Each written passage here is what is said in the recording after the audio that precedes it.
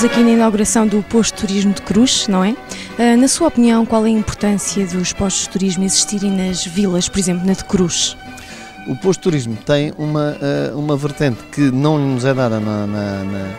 nas características do online, que é a vertente mais, mais pessoal e, portanto, mais personificada, em que a pessoa procura saber mais sobre a região, procura ver um conselho, uma opinião e, portanto, uh, o atendimento turístico é hoje decisivo. Se temos um turista culto, exigente e informado, temos que também corresponder a essas exigências de informação. Portanto, o posto de turismo aqui é decisivo e é por isso que a própria entidade Jornal de Turismo tem apostado muito nessa área. Estamos, vamos instalar mesas interativas em todos os conselhos do, da Alzira do Tejo, portanto aqui do Ribatejo. Por outro lado, este posto aqui, quero felicitar a Câmara de Cruz, o seu Presidente, a Sra. Vereadora, enfim, toda a equipa,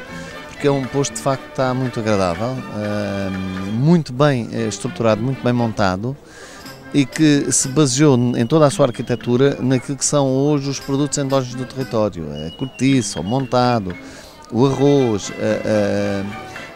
a, a, própria história de Cruz, portanto é um posto que está muito bem, eh, está muito bem estruturado, porque está muito virado para aquilo que é a identidade do Conselho.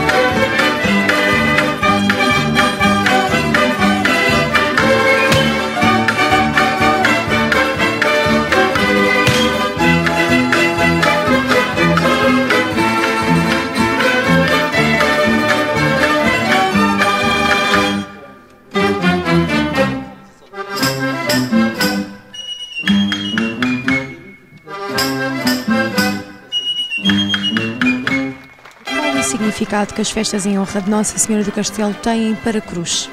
É, é muito importante porque as festas em honra de Nossa Senhora do Castelo uh, são de facto o ícone de ligação de todos os crescenses à sua terra. Isto porque a padroeira, ou seja, a Nossa Senhora do Castelo, é, é a quem os crescenses têm devoção e, portanto, estas festas, que são umas festas uh, seculares, diria eu, porque já se realizam há imenso tempo, agora no novo formato, isto é, através da Irmandade de Nossa Senhora do Castelo, a Associação uh, de Festas de Cruz e a Câmara Municipal, mas de facto isto simboliza uma ligação muito muito grande que os crescenses têm à sua terra, porque eh, a padroeira, digamos assim, tem um simbolismo, para além do simbolismo religioso, tem um simbolismo de afetividade muito grande para todos os crescenses. E, portanto, este momento é um momento alto, é um momento onde as pessoas, eh, de facto, fazem questão de ir à festa, fazem questão de ir à procissão em honra da Nossa Senhora do Castelo eh, e acompanhar todos os, os eventos religiosos que têm a ver com as novenas, que têm a ver com as missas que se realizam durante este período, porque as festas, hoje estamos a inaugurar as festas em honra de Nossa Senhora do Castelo, mas verdadeiramente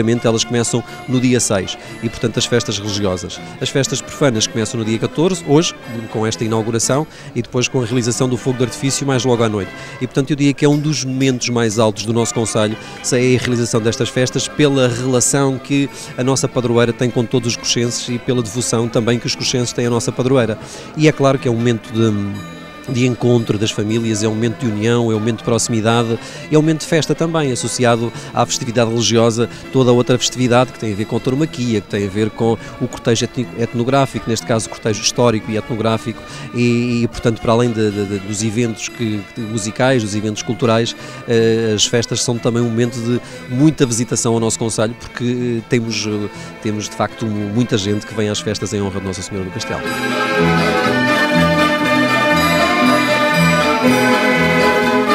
Estas festas são muito importantes para Cruz. Sim, na realidade são para Cruz, não são só para Cruz, são para muitos fiéis e muitos devotos que aqui vêm sem ser de Cruz. Vêm pessoas de vendas novas, pessoas da Ponte Sor.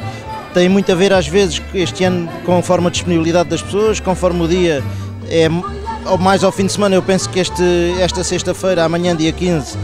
vai haver mais gente porque no fundo dá mais jeito às pessoas mas também não vêm só por o jeito, mas sim por a grande devoção e a grande dedicação que tem a Nossa Senhora. Estamos em pleno dia de inauguração oficial das festas de Nossa Senhora do Castelo. Como é que correu toda esta preparação? É verdade, hoje é o dia da inauguração, foi um tempo muito de trabalho, muito empenho, muita dedicação da Comissão de Festas e todas as entidades envolvidas, mas felizmente foi tudo preparado e atempadamente e com o tempo que é necessário para estas coisas, são coisas que levam muito tempo a preparar, está tudo a postos e estamos aqui na inauguração com tudo pronto e é isto que nós queremos, uma moldura humana já enorme na, na inauguração que augura umas excelentes festas mais um ano. E como é que se desenvolve o processo de preparação, de organização de uma festa desta dimensão? Estas festas têm uma grande dimensão mesmo, tem uma, em várias entidades envolvidas, uh, são muito, muitos pontos, é as iluminações, é fogo de artifício, é atividades taurinas que são diversas por todos os dias, artistas e portanto tudo isto leva a uma envolvência de muitas pessoas e isso é o mais difícil, é cronometrar todas estas pessoas. Mas até, até agora as coisas têm corrido bem, as pessoas são empenhadas, ainda que sejam voluntários, são bastante empenhados e portanto as coisas têm corrido bastante bem. Quer-nos falar um pouco do programa de festas aqui em Cruz nos próximos dias? As festas em Cruz, 14 hoje, vamos ter com um maior destaque para o fogo de artifício um, e uma largada de touros à noite, portanto com o espírito rio-atejano. Amanhã temos a pressão em honra de Nossa Senhora do Castelo uh, e à noite um festival de folclore. A também destacar aqui que esse festival de folclore é uma parceria com três grupos de folclore do Conselho, que também demonstra bem a dimensão das festas e a envolvência das outras associações connosco. Uh, dia 16 vamos ter de Olinda, vamos ter tourada à corda, entradas e largadas de touros e sem dúvida que também será um grande dia. Uh, dia 17 de agosto há destaque para o cortejo histórico e etnográfico, para a corrida de touros e fechamos com GNR à noite, que será um grande espetáculo com certeza. Dia 18, entradas e largadas de touros novamente de manhã, tourada à corda, aí fechamos com Sofia, à noite, que será um grande espetáculo. Ela que é uma artista também da terra e, portanto, vai fechar em grande com certeza as festas em Cruz.